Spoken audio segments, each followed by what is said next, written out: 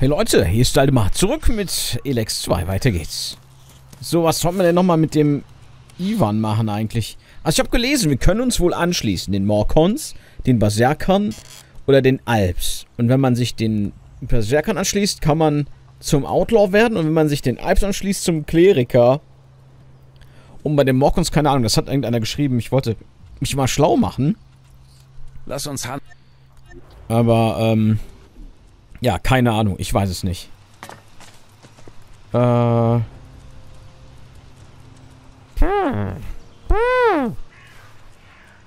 Plus 20? Aber das haben wir doch ausgerüstet. machen wir denn jetzt? Ähm... Was machen wir denn jetzt? Das Vertrauen der Berserker. Propaganda von Baxter. Dann gehen wir mal reden mit Chloe. Klo. Mit Klo. Chloe.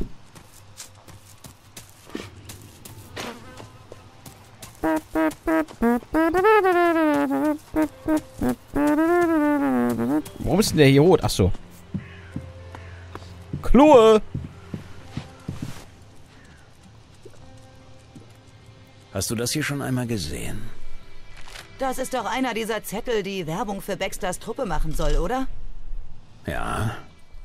Und was soll ich damit?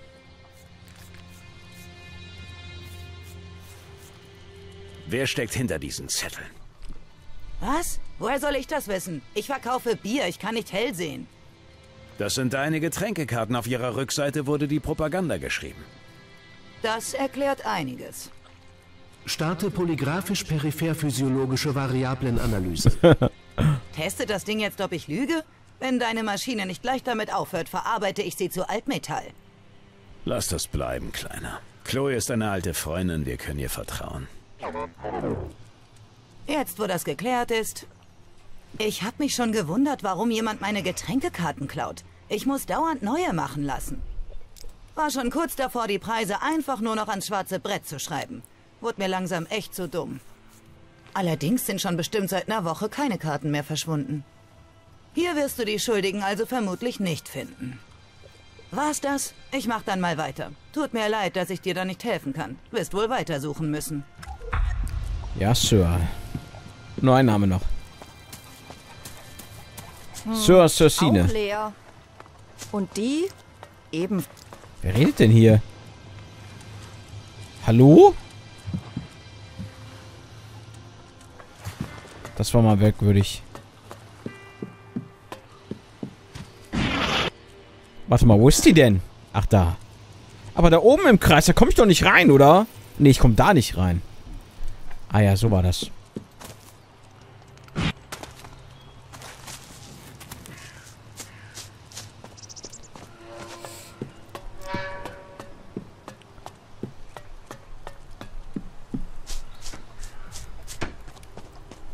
Aus der Bahn.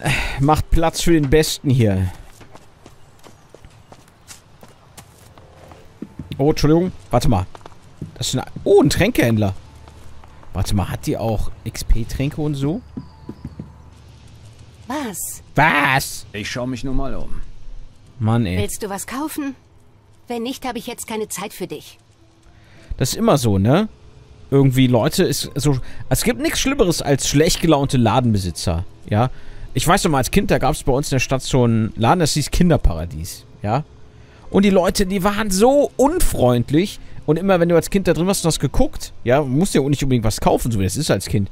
Und dann immer, willst du das kaufen, dann raus. Willst du nichts kaufen, dann geh. Und da war halt keiner im Laden. Dann denke ich mir so, okay, dann geh ich halt. Zeig Hurensohn. mir, was du zu verkaufen hast. Natürlich.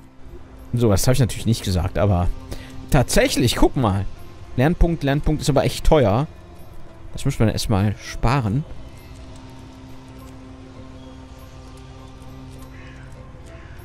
Äh, ja, nett. Gut zu wissen. Da sind noch Rezepte. Die sind recht billig.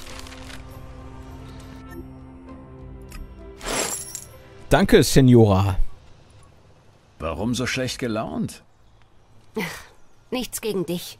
Tilas geht mir einfach auf die Nerven. Ich beziehe viele meiner Waren von ihm. Ich glaube, seine Art fängt an, auf mich abzufärben.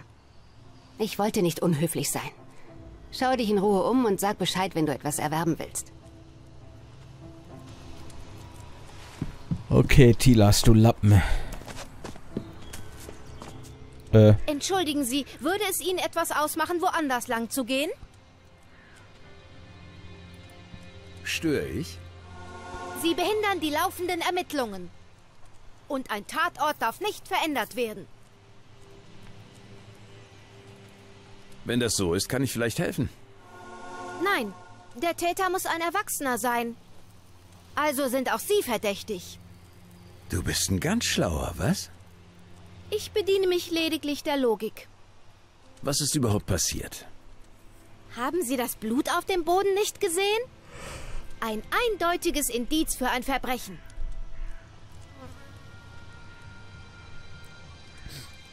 Das stammt sicher von einer Schlägerei. Sie meinen, da haben sich zwei geprügelt? So sieht's aus. Ich muss die Hintergründe und das Motiv klären. Vielleicht komme ich noch einmal auf Sie zurück.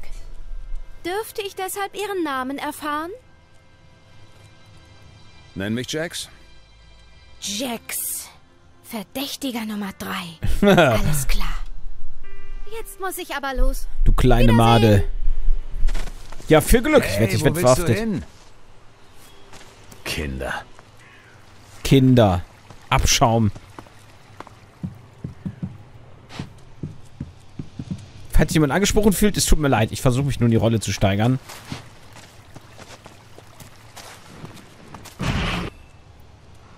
Ah ja, der Schmied, genau.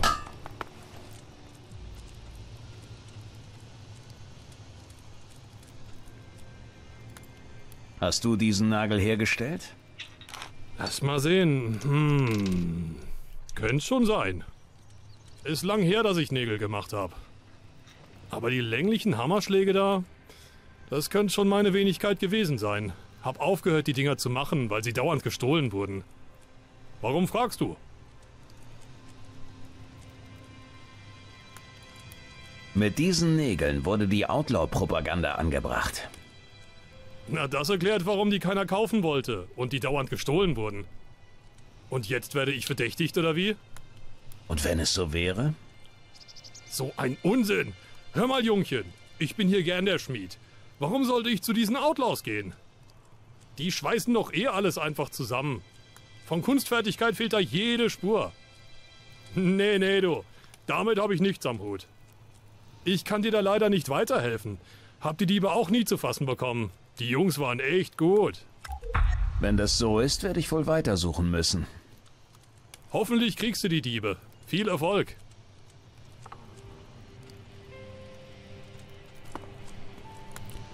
Okay, und jetzt? Müssen wir wieder zurückgehen, ne? Müssen wir hinlaufen? Äh. Da wieder zurück.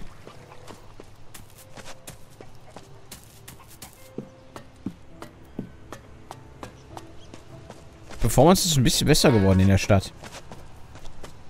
Ich weiß aber gar nicht, ob es einen Patch gab.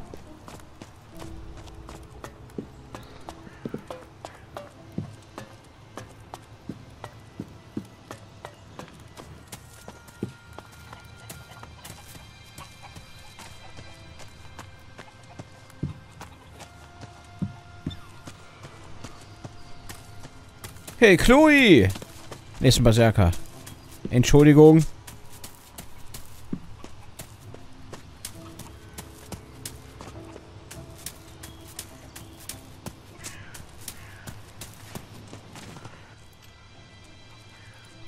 Ich habe mit Chloe gesprochen. Hast du herausbekommen, ob Chloe was mit den Propagandabriefen zu tun hat? Sie behauptet, die Getränkekarten wurden ihr gestohlen. Sie hatte sich sogar schon überlegt, die Karten ganz abzuschaffen, damit sie nicht immer neue machen muss. Klingt nicht so, als hätte sie was damit zu tun. Ich habe mit Lasse gesprochen. Und? Hast du herausgefunden, ob er was mit den Propagandazetteln zu tun hat? Nicht wirklich. Ihm wurden wohl einige Nägel gestohlen. Es scheinen die Nägel zu sein, mit denen die Propaganda angebracht wurde. Das ist nicht sehr viel. Zumindest ist er sich sicher, dass es seine Nägel sind. Verdammt. Da gehen sich hin unsere einzigen Spuren. Ich habe jeden beobachtet, der in die Kneipe ein- und ausgegangen ist. In der Hoffnung, dass jemand ein paar der Karten dabei hat. Aber auch ich hatte kein Glück. Ein paar verdächtige Gestalten hier und da, aber sonst nichts. Wir müssen irgendwas übersehen haben. Fassen wir nochmal zusammen, was wir über die Propaganda wissen.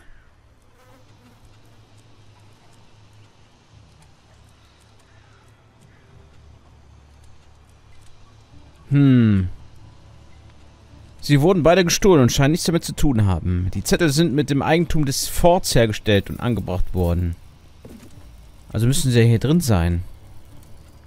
Die Zettel sind mit dem Eigentum des Forts hergestellt und angebracht worden. Das ist allerdings ein interessanter Punkt. Das bedeutet, dass unser Täter wohl im Vor ist. Es scheint niemand von außerhalb zu sein. Was noch? Sie wurden beide bestohlen und scheinen nichts damit zu tun zu haben. Aber nicht in jüngster Zeit. Richtig. Dass keiner von beiden den Dieb gesehen hat, sagt uns, dass er weiß, was er tut. Er ist kein Idiot. Was noch? Die Outlaws scheinen dahinter zu stecken. Das ist wohl offensichtlich. Außer jemand will den Outlaws etwas anhängen, aber das glaube ich nicht. Der oder diejenigen, die diese Propaganda verteilen und wahrscheinlich auch hinter dem Anschlag auf Red stecken, sind vermutlich Outlaws, die hier im Vorleben und einiges auf dem Kasten haben. Und was machen wir jetzt mit dieser Information? Ich muss zugeben, keine Ahnung. Wir haben nicht viele Optionen. Wir müssen wohl oder übel den Täter auf frischer Tat ertappen. Also warten wir einfach? Ich habe eine bessere Idee. Wenn es dunkel ist, suchen wir das Vorab. Die Chance, jemanden zu erwischen, ist gering. Aber wenn du keine bessere hast? Nein. Na dann, sag Bescheid, wenn du bereit bist. Ja, dann los, machen wir. Lass uns auf Nachtwache gehen. Wird ein bisschen schwierig, solange es hell ist, oder? Such dir ein Bett oder miete dir ein Zimmer im reisenden Schläfer. Komm wieder, wenn es dunkel ist. Der reisende Schläfer. Er möge erwachen. Guck mal, hier gibt's doch bestimmt irgendwo ein Bett. Deutlicher sage ich das nicht. Darf ich einfach so. Darf ich den. Davon verstehe ich nicht. Ach so, richtig kochen gibt's auch noch? Oh, das ist Stehlen. Kroni, raus hier! Wir dürfen hier gar nicht sein. Die zuhören.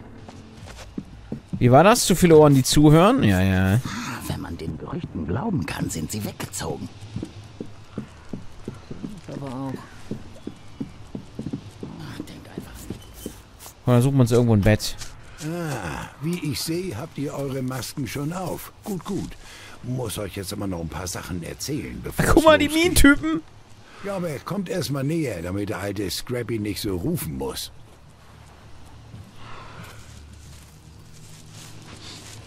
Gut, gut. Also, aufgepasst. Wir brechen gleich gemeinsam auf zur Mine. Nehmt mit, was ihr braucht. Was zu futtern, Kippen, eine Waffe. Werkzeug bekommt ihr, wenn wir da sind. Und denkt dran, die Mine ist voller Gas. Tauscht also regelmäßig die Filter. Alles klar? Dann los. Noch am Rauchen. Ja, cool. Das haben sie aber schön berücksichtigt. Aber ich muss aber auch nochmal zur Mühle, äh, zur Mühle. Zur Mine. Guck mal, Katja steht noch da oben. Soll ich mit dem mitgehen? Weil ich weiß gar nicht mehr, wo die Mine ist.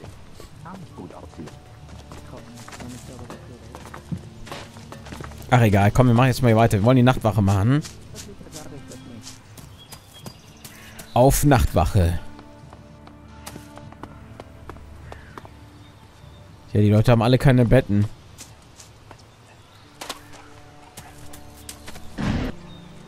Kann ich denn überhaupt in allen möglichen Betten schlafen?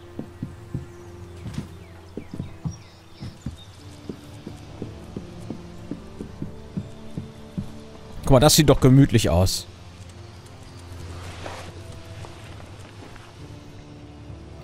Bis Mitternacht schlafen. So, dann suchen wir den Typen. Okay.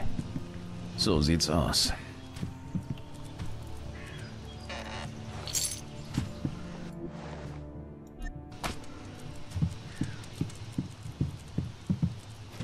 Toilettenpapier, mittlerer Heiltrank.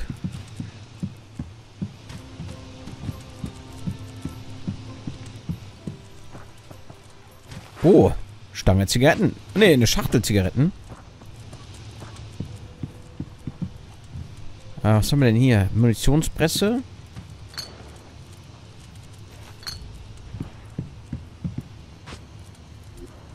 Fernwaffenwerkbank. Da waren aber keine Pfeile. Ich habe heute jetzt die Rezepte für Pfeile.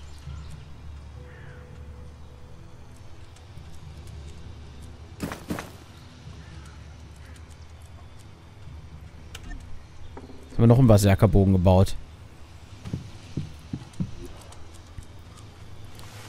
Da, Plan für Pfeile. Ach ja, Munitions... Mann, ich vergesse das jedes Mal. Mann, bin ich denn irgendwie... Also Alzheimer habe ich nicht.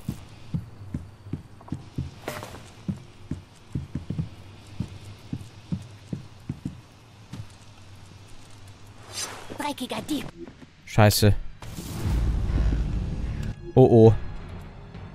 Oh, ich habe gequicksaved. Beim Aufsammeln. Oh Gott. Ja, Lass dich nicht zu Dummheiten hinreißen. Mach ich ja nicht. Äh, hallo? So, dann gehen wir jetzt die Quest machen. Scheiß drauf. Da war noch diese blöde Karte, aber das interessiert mich gar nicht.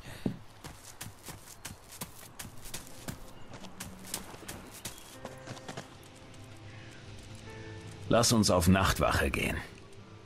Alles klar. Brechen wir auf. Am besten, wir gehen ein bisschen abseits der Wege und schauen auch mal hinter den Häusern nach. Wer auch immer die Flugzettel verteilt, ist nicht blöd. Wir werden ihn wohl kaum auf der Hauptstraße treffen.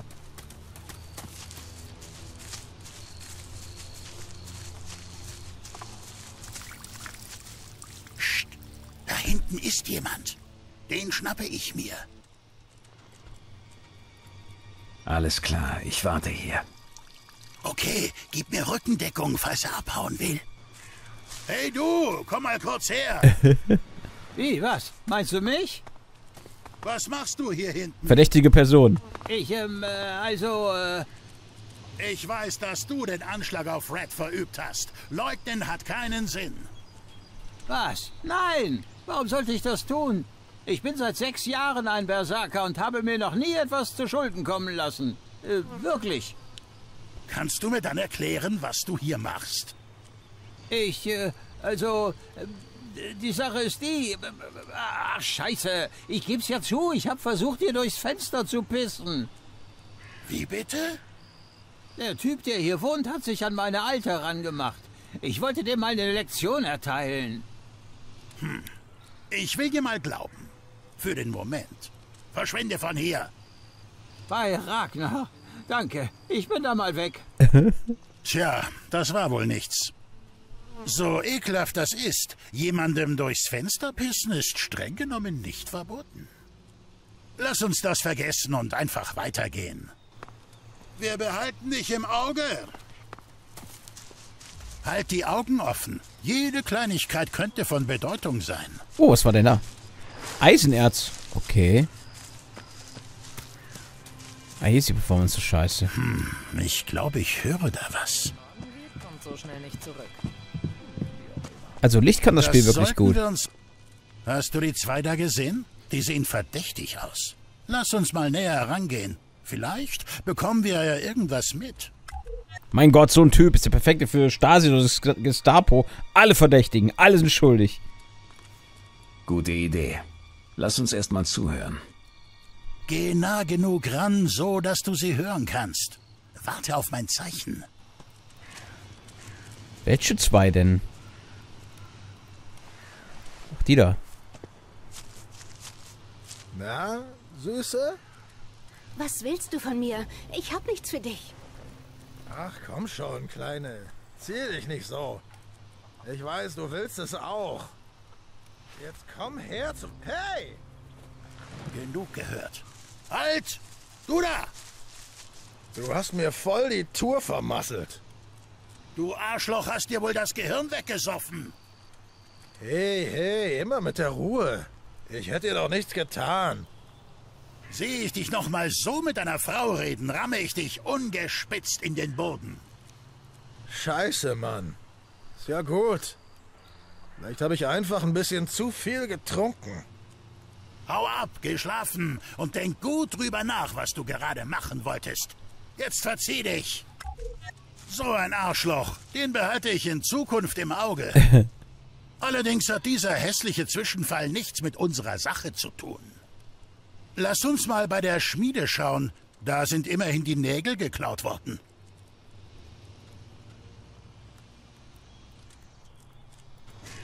Dass sowas hier vorkommt. In Goliath hätte es das nicht gegeben. Hoffentlich erwischen wir an der Schmiede jemanden. Wir werden sehen. Wenn nicht, dann bin ich auch langsam am Ende mit meinen Ideen. Heute Nacht ist ja echt einiges los. Nur niemand, der Zettel verteilt.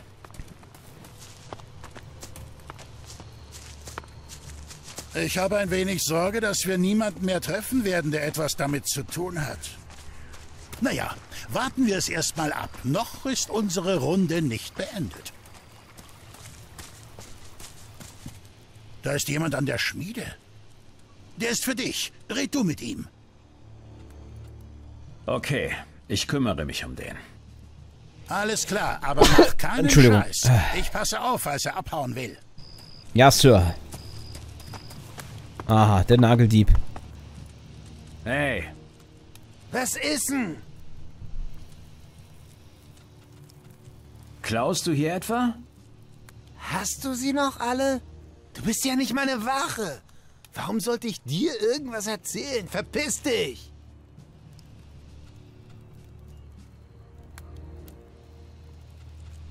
Hier, vielleicht hilft dir das auf die Sprünge. Ah, jetzt sprichst du meine Sprache. Aber ich muss dich enttäuschen. Ich habe nur einen kleinen Spaziergang gemacht. Musste mir mal die Beine vertreten, hab den ganzen Abend in der Kneipe gehockt. Und was hast du hier bei der Schmiede gemacht? Ja, genau. Ich habe meine Kippen gesucht. Sind mir hier irgendwo runtergefallen. Die ganze Kneipe kann bezeugen, dass ich den kompletten Abend da war. Und, und, und meine Kippen müssten hier auch noch irgendwo rumliegen. Ich werde mal wieder in die Kneipe gehen, wenn es sonst nichts gibt. Wir behalten dich im Auge.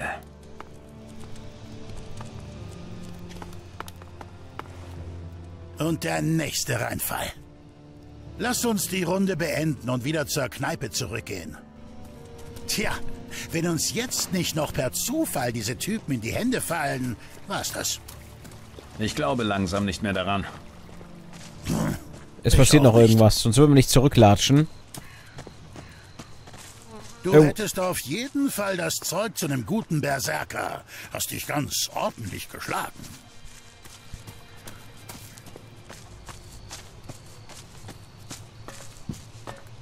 So, wir sind fast wieder zurück. Ist dir noch etwas aufgefallen? Nein. Mir auch nicht. Mist.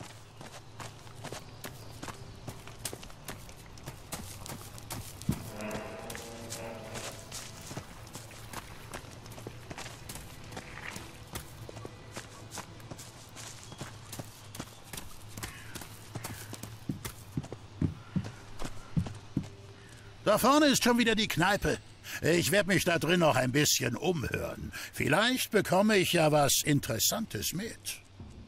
Ansonsten war's das wohl. Weitergebracht hat uns das Ganze auf jeden Fall nicht. Willst du aufgeben? Keine Ahnung. Wir sollten uns einfach ein bisschen getrennt umhören. Aktuell weiß ich nicht weiter. Wenn dir irgendwas auffällt, du irgendwas hörst oder siehst, komm direkt zu mir damit. Also dann, wir sehen uns später. Sollen wir irgendwo hingehen? Sollen wir uns da selber umsehen?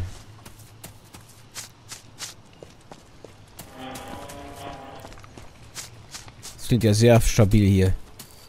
Das erinnert mich total an Jurassic Park immer, irgendwie. Okay. Ja, bei dieser Brücke...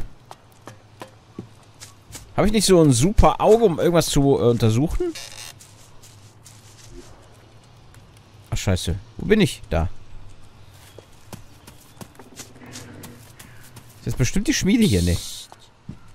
Du da.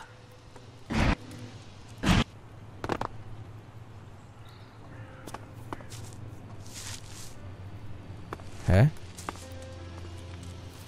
Wo ist denn hier einer?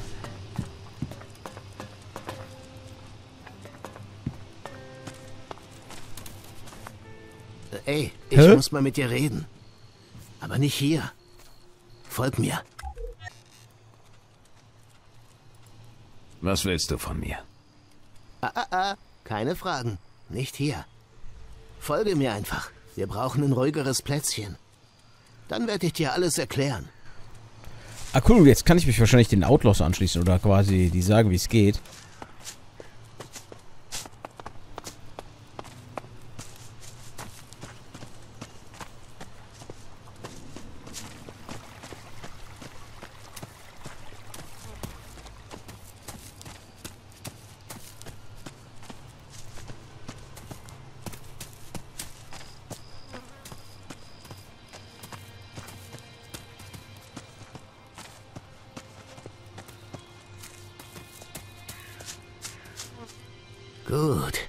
Hier können wir reden. Was soll diese Geheimnistuerei?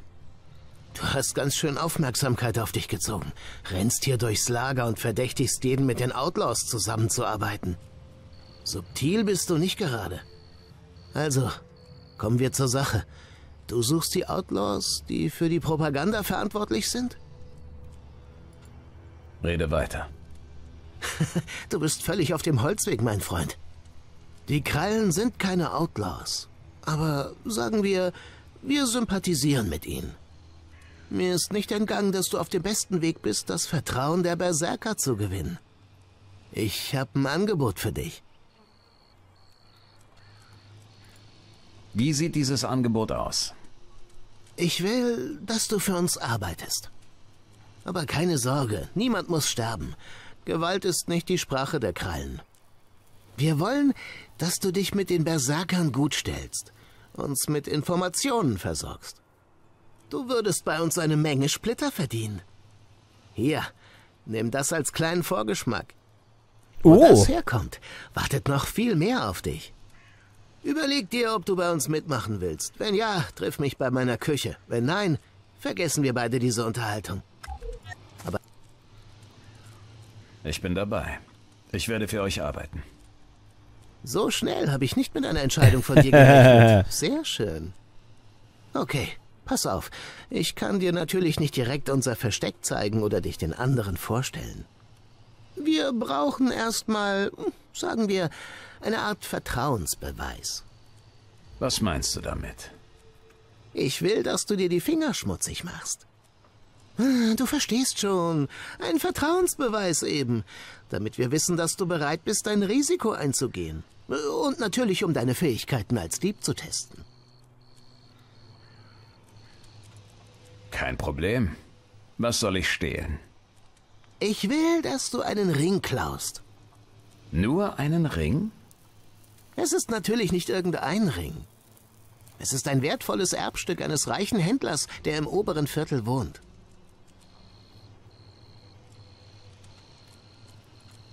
Wie komme ich daran?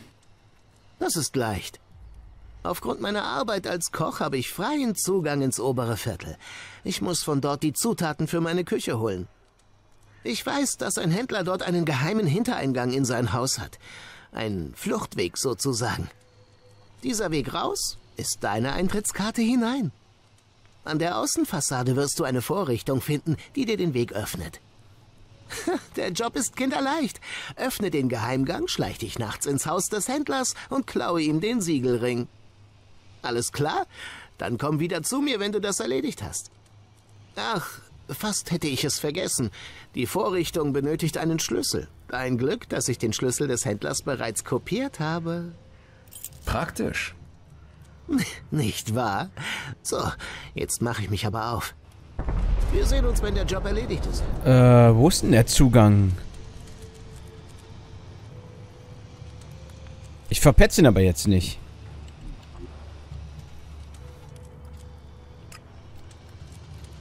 Aha, ist direkt hier. Ja, dann direkt loslegen. Da. Skinnys Schlüssel scheint zu passen. Der Zugang ist offen. Besser ich... Hä?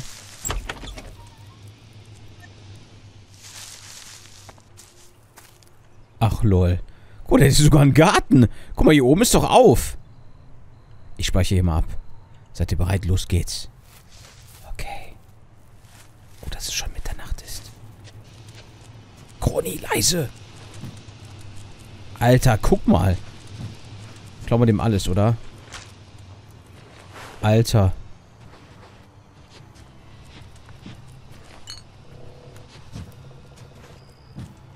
Aber da ist der Lappen.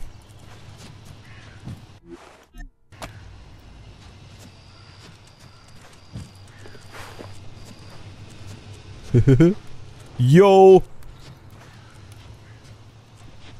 Auch schade.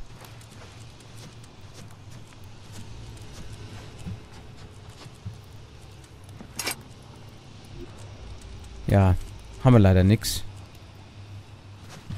Ich frage, ob wir den Pin irgendwo sehen. Oder finden können.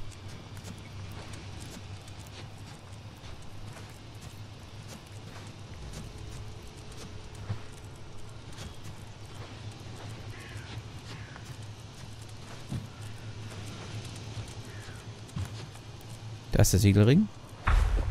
Erledigt. Ich sollte Skinny den Ring bringen. Ja, leider findet man hier nichts. Neue Stufe. Aber ist echt schön hier, meine Güte. Machen wir die Tür mal wieder zu. Besser, ich mach die wieder. So, dann bringen wir das Teil Skinny. Ja, ich finde die Berserker halt Banane. Sorry, aber das sind so die... Ich weiß nicht, die so Klischee. Außerdem sehen die Rüstung Banane aus. Das Ding von den Outlaws ist eigentlich auch Banane. Ich meine, einfach nur ein T-Shirt tragen mit Täschchen ist halt auch nicht unbedingt besser, aber äh, wir werden sehen. Ich dachte eher an Kleriker, aber da müssen wir den Alps anschließen. Die sind ja ultra hässlich. Ein totes Huhn. Oh Gott. Hühni. Ach, hier drin, der, äh, nee, der hier. Ach, hier der. Dir nicht zu viel Zeit mit deiner Entsch Ich habe den Ring für dich gestohlen. Den hast du nicht für mich besorgt. Dieser Ring ist deine Eintrittskarte in unsere Welt. Behalte ihn. Vorerst. Hast du den Geheimgang wieder geschlossen? Wäre schließlich dumm, wenn jemand merkt, dass du ihn benutzt hast. Hältst du mich für einen Amateur? Das gefällt mir. Du wirst ein gutes Mitglied unserer kleinen Gemeinschaft abgeben. So, und jetzt komm mal mit. Ich möchte dir jemanden vorstellen. Wo gehen wir hin? Keine Fragen. Folgt mir einfach. Keine Fragen. Ich zeige dir nur den Eingang.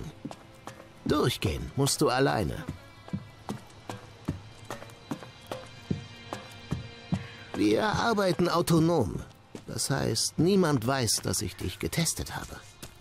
Aber das letzte Wort hat sie. Wenn sie dich für vertrauenswürdig hält, gehörst du zu uns. Sie? Und wer ist sie? Hab ich nicht gesagt, keine Fragen? Du wirst sie gleich kennenlernen. Geduld. Wo sind wir jetzt hier? Wir sind fast da. Ich sehe nichts mehr. Aber lass dir nicht...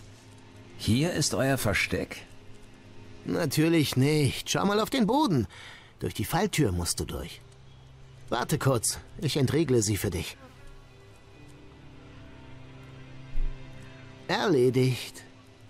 Vergiss nicht, den Tunnel wieder zu schließen, wenn du gehst. Ich gehe dann mal. Warte mal.